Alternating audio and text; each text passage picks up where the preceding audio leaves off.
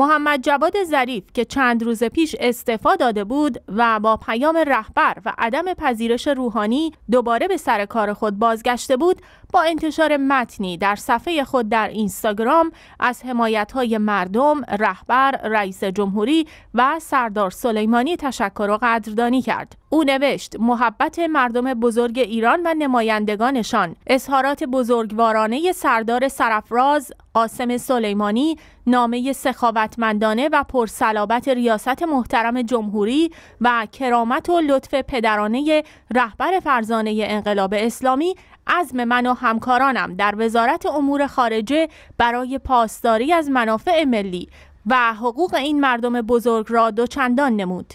این وفاق و همدلی رمز پیروزی و پیشرفت این ملت بزرگ در طول چهل سال گذشته بوده است و نیز بزرگترین دلیل شکست سلطگران که منافع خود را در جهت ایجاد شکاف در جامعه ایرانی جستجو کردند.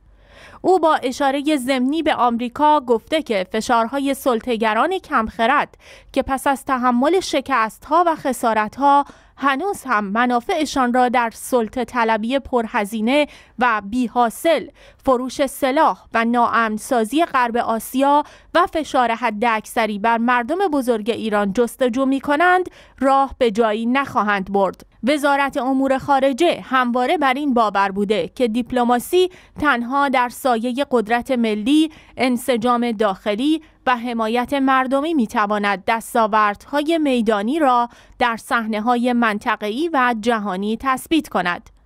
او میافزاید تمامی ما ایرانیان بدون توجه به گرایش سیاسی و یا مذهب و قومیت در یک کشتی نشسته ایم و چه نیکوست که در آستانه نوروز همه دقدقه های مشترک خود را به امید و فرصتی برای امنیت و پیشرفت درونزای ایران عزیز و برونگرایی خودباورانه و تعامل سازنده با جهان تبدیل کنیم تا کشتی ایران عزیزمان در دریای پرتلاطم جهان پساغربی مسیر پیشرفت و تعالی را بپیماید. ظریف در طول سالهای گذشته سعی کرد با برجام خط تعامل و عادی سازی روابط با غرب را دنبال کند.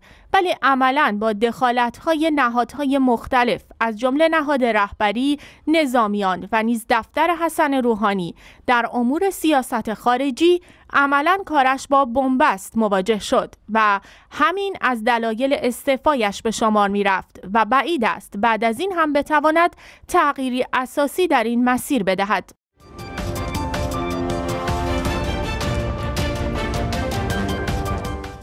روز چهارشنبه رهبر جمهوری اسلامی و حسن روحانی رئیس جمهوری و مقامهای بلند پایه ایران میزبان نیکل پاشینیان نخست وزیر ارمنستان بودند.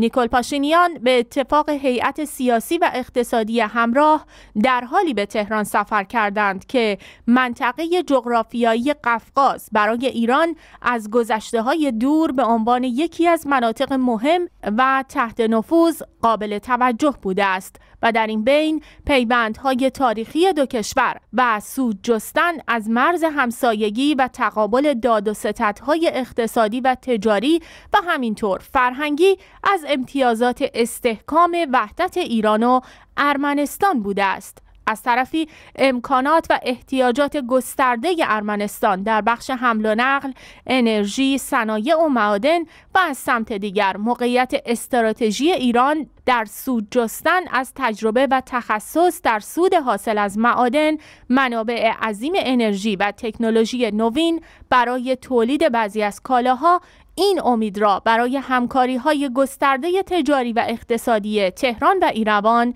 ایجاد کرده است. علی خامنه ای رهبر جمهوری اسلامی در دیدار با نیکل پاشینیان به روابط حسنه مردم ایران با ارامنه از فداکاری های ارامنه مقیم ایران و مشارکت در جنگ و دفاع مقدس تقدیر کرد و گفت ما شهدای ارمنی جنگ تحمیلی را مانند شهدای مسلمان جزء افتخارات ایران می‌دانیم. خامنه ای با ابراز خورسندی از دوستی و همکاری بیشاعبه ارمنستان با ایران و همکاری روزافزون در جهت منافع مشترک دو کشور به دشمنی آمریکا اشاره کرد و گفت آمریکایی ها غیر قابل اعتماد و همیشه با همه جا در پی ایجاد فتنه، فساد، اختلاف و جنگ هستند و از طرفی با روابط ایران و ارمنستان و منافع ملت ها نیز مخالفند که ما وظیفه داریم همکاری ها و روابط خود را گسترش و تقویت کنیم. ایران و ارمنستان در طول تاریخ هرگز با هم مشکلی نداشتند و ما بر اساس تعالیم اسلامی خود را موظف به رفتار حسنه با همسایگان خود می‌دانیم. آقای پاشینیان نخست وزیر ارمنستان نیز ضمن امیدبخش و سازنده خواندن گفتگوها و توافقهای انجام شده در سفر به تهران ابراز امیدواری کرد این توافقها با جدیت و پشتکار طرفین عملی می شود. او افزود مطمئن هستم تجربه بسیار زیاد و عالی جناب عالی و اهمیت نقش جمهوری اسلامی ایران در منطقه همکاری های ایران و ارمنستان را بهتر از همیشه توسعه خواهد داد. در دیدار حسن روحانی رئیس جمهوری با پاشینیان او با ابراز خورسندی از همکاری صورت گرفته از موضعگیری ارمنستان در مقابل تحریم های غیرقانونی آمریکا تقدیر کرد و اضافه کرد قصد ما گسترش روابط تهران و ایروان در همه عرصه ها خواهد بود.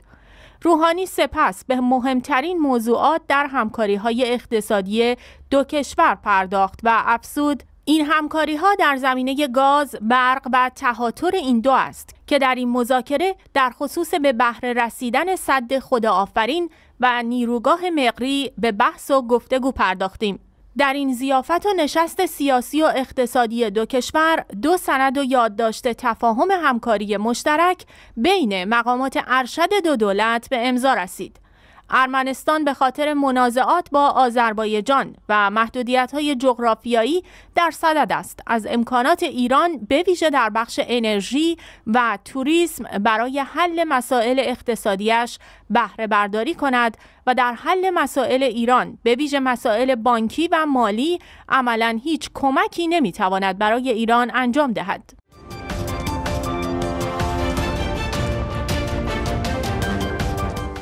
پس از سخنان پرهاشیه کریمی قدوسی نماینده جنجالی عضو جبهه پایداری در قوم در خصوص آقایان روحانی و لاریجانی. در روز چهارشنبه هیئت نظارت بر رفتار نمایندگان مجلس طی یک جلسه به این موضوع رسیدگی کرد. محمد جواد جمالی نماینده مجلس شورای اسلامی در پاسخ به خبرنگاران ضمن اشاره به رخداد مذکور از شکایت دادستانی کل کشور علیه کریمی قدوسی در رابطه با سخنانش در قوم خبر داد. وی افزود شورای عالی امنیت ملی نیز در ارتباط با انتشار فیلمی که از آقای دوری اصفهانی در مجلس توسط کریمی قدوسی نمایش داده شده شکایت کرد. شایان ذکر است از مشتبا نور نیز شکایتی در خصوص اظهار نظرش درباره رئیس جمهوری شده که این اظهارات در ارتباط با غیبت آقای روحانی در زمستان 96 در محل کارش بوده که مقرر شده است در نخستین نشست برای پاسخگویی و ارائه توضیحات در هیئت حاضر شود. کریمی قدوسی بارها به نقل از رهبر جمهوری اسلامی و منابع اطلاعاتی علیه مقامات فعلی و سابق جمهوری اسلامی مطالب تندی مطرح کرده است که قوه قضاییه به آنها رسیدگی نکرده است. از جمله دریافت پول توسط محمد خاتمی از عربستان سعودی که علیرغم شکایت خاتمی تاکنون به آن رسیدگی نشده است. ارتباط او با نهاد رهبری به او تاکنون مسئولیت بخشیده است.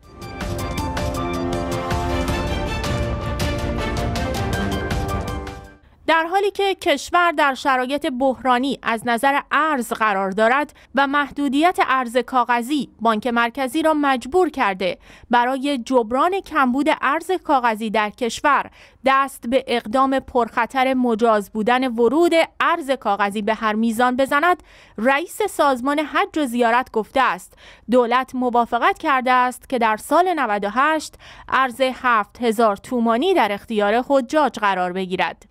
این در حالی است که حتی اگر نرخ فعلی ارز هم معیار قرار بگیرد دولت ارزی با نصف قیمت ارز بازار در اختیار حجاج قرار داده است.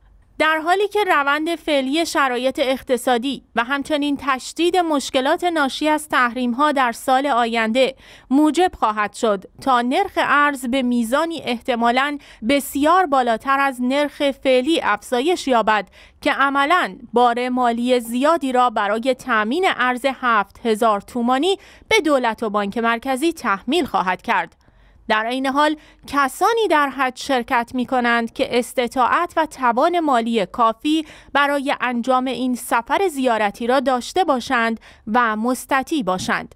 بنابراین با توجه به تمکن مالی کسانی که در حج شرکت می کنند هیچ ضرورتی وجود ندارد که دولت برای تأمین هزینه مورد نیاز این افراد یارانه اختصاص دهد و ارز مورد نیاز و ضروری سایر بخش ها را در اختیار این افراد قرار بدهد. آن هم در شرایطی که بنا به اعتراف دولت دولت و بانک مرکزی از تأمین ارز مورد نیاز ضروری ترین اقلام مثل دارو و مواد غذایی ضروری مردم ناتوان است.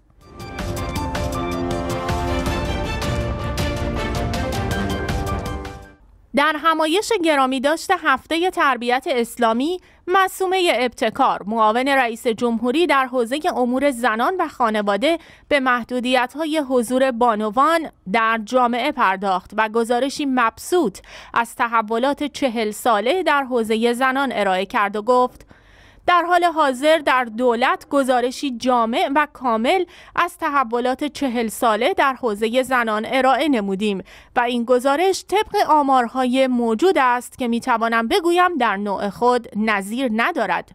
او در ادامه به برخی شاخصهای زنان اشاره کرد و گفت اگرچه در شاخصهای مشارکت اقتصادی بانوان فراز و نشیبهای بسیاری داریم ولی تحولات قابل توجهی هم داشته ایم. او گفت پیش از انقلاب 17 درصد زنان روستایی و 35 درصد زنان شهری دارای سواد بودند. اما اکنون بیش از 85 درصد زنان کشورمان سواد دارند که در موقعیت شهری در حدود 95 درصد است.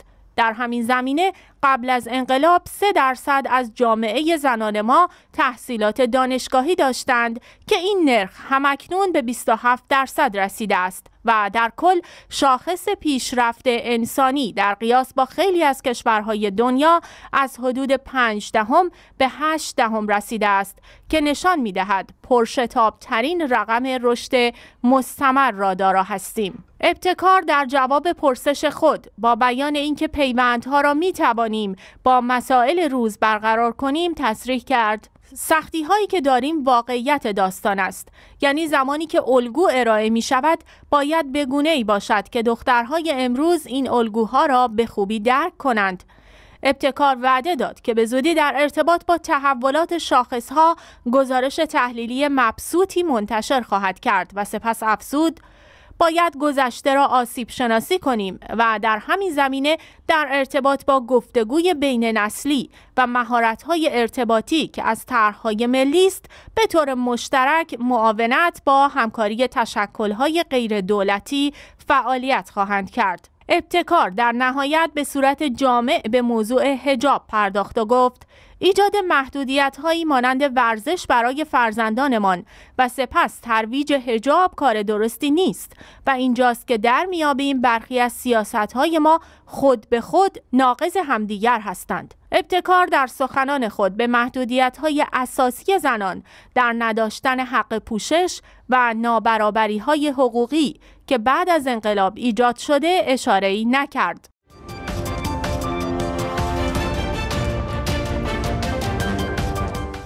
در حالی که کمتر از دو روز از اظهارات حسن روحانی در خصوص تایید الحاق ایران به پالرمو توسط رهبر جمهوری اسلامی علی خامنه ای میگذرد غلام علی حداد عادل عضو مجمع تشخیص مسلحت نظام ایران روز پنج شنبه اظهار داشت. آقای خامنه ای در خصوص لایحه پالرمو نظری نداده و این تصمیم را به مجمع تشخیص مسلحت نظام واگذار کرده است. حداد عادل با بیان این موضوع که آقای خامنه ای حرفهای موافقان پالرمو را تایید نکرده است به نوعی اظهارات روحانی را دروغ خوانده است الحاق ایران به پالرمو پس از برجام به چالش برانگیزترین موضوع ایران در حوزه روابط بین الملل تبدیل شده است و موافقین و مخالفین با جدیت از نظرات خود در خصوص رد یا تصویب آن دفاع می کنند.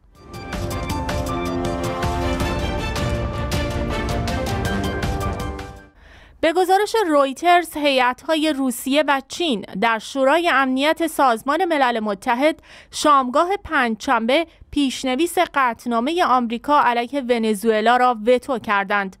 در نشست پنجشنبه شب شورای امنیت نماینده روسیه تصریح کرد آمریکا به حاکمیت ارزی ونزوئلا احترام نمی‌گذارد و به دنبال براندازی دولت این کشور به ریاست نیکولاس ماداروست.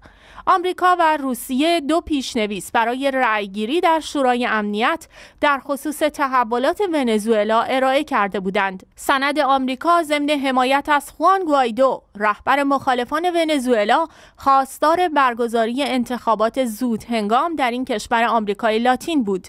در جلسه پنجشنبه شب آفریقای جنوبی به پیشنویس آمریکا نیز رأی مخالف داد. پیشنویس روسیه در مقابل از نیکولاس مادورو به عنوان رئیس جمهوری مشروع و منتخب مردم حمایت می کند. این پیشنویس هم در نشست پنج شنبه شب به تصویب اعضای شورای امنیت نرسید. دفتر نمایندگی آمریکا در سازمان ملل متحد در پیامی در توییتر با اعلام این خبر گفت قطنامه پیشنهادی روسیه فقط چهار رأی موافق توانست به دست بیاورد. در همین حال خوان گوایدو رهبر مخالفان نیز که به کلمبیا سفر کرده بود به برزیل رفته و با رئیس جمهوری جدید برزیل ملاقات کرده است. لازم به ذکر است که دولت مادارو مرزهای خود با برزیل را به طور کامل مسدود ساخته است.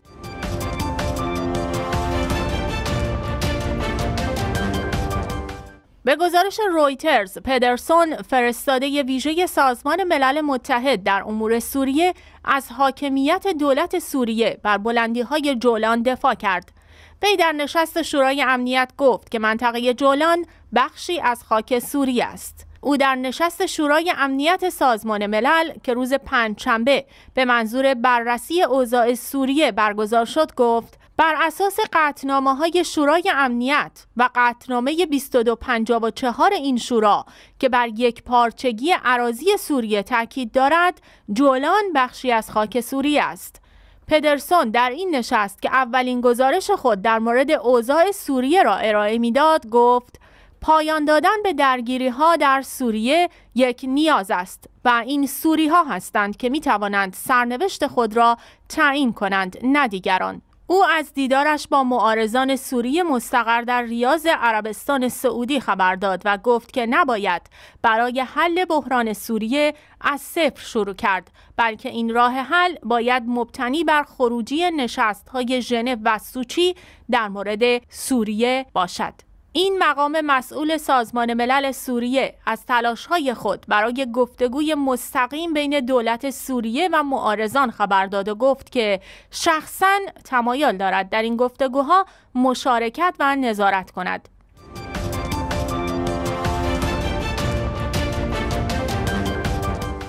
به گزارش CNN بنیامین نتانیاهو نخست وزیر اسرائیل روز پنجشنبه به تصمیم دادستان کل اسرائیل برای اعلام جرم علیه او واکنش نشان داد. نتانیاهو خودش را قربانی زد و بندهای سیاسی دانست که هدف آن اثرگذاری بر انتخابات سراسری اسرائیل است. او اقدام برای اعلام جرم علیه خودش را بی سابقه توصیف کرد. آویخای مندلبیت دادستان کل اسرائیل روز پنجشنبه از قصد خود برای اعلام جرم علیه نتانیاهو خبر داد. رسانه های اسرائیلی گفتند نتانیاهو رسما در سه مورد از چهار پرونده فساد مالی مفتوح علیه او متهم خواهد شد. مندلبیت در حالی تصمیم خود را اعلام کرده که حدود چهل روز به برگزاری انتخابات سراسری در اسرائیل باقی مانده است. اعلام جرم علیه نتانیاهو بحثهایی را درباره اینکه آیا او باید از سمتش کنارگیری کند یا خیر داغ کرده است. نتانیاهو روز پنجشنبه احتمال استعفای خود را رد و تاکید کرد. قصد دارد سالهای متمادی به عنوان نخست وزیر اسرائیل باقی بماند. او گفت قصد دارم تا سالیان سال به عنوان نخست وزیر به خدمت رسانی به مردم و کشور ادامه دهم. اما این به رأی مردم بستگی دارد. در حال حاضر چهار پرونده فساد مالی علیه نخست وزیر اسرائیل مطرح است و او در ماههای گذشته درباره این پرونده ها مورد بازجویی قرار گرفته است. یکی از پرونده هایی که دادستان کل اسرائیل رسما قصد دارد نتانیاهو را متهم کند پرونده موسوم به چهار هزار است که او در این پرونده متهم است. به شاولایلوویچ مالک شرکت بزگ میلیون ها دلار تسهیلات مالی پرداخت کرده تا پایگاه خبری وابسته به او از نتانیاهو و همسرش حمایت رسانه‌ای بهتری داشته باشد.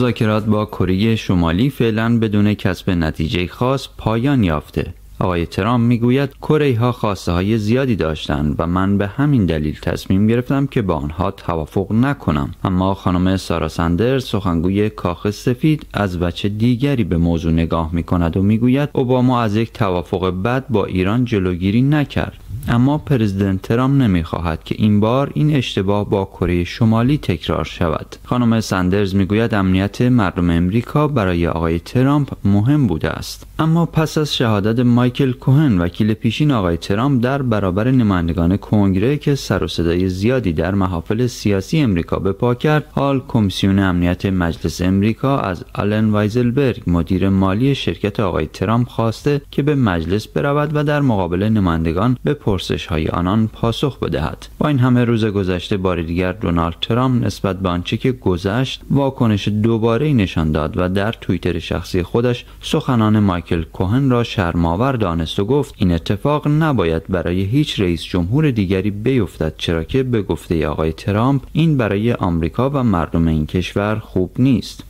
آقای ترامپ بار دیگر تاکید کرد که ستاد انتخاباتی او هیچ ارتباطی با روسیه نداشته است. رئیس جمهور امریکا گفت که البته مایکل کوهن در یک مورد حقیقت را گفته وان این که توافق پنهانی میان تیم ترامپ و روسیه در جریان کارزار انتخاباتی ریاست جمهوری امریکا در سال 2016 صورت نگرفته است. هواشی انتخابات سال 2016 امریکا و حالا رقابت سال 2020 موجب جدال و بحث بسیاری در محافل سیاسی به ویژه در اردوگاه دموکرات ها و جمهوری خواهان شده و هر روز ابعاد تازه تری پیدا می کند.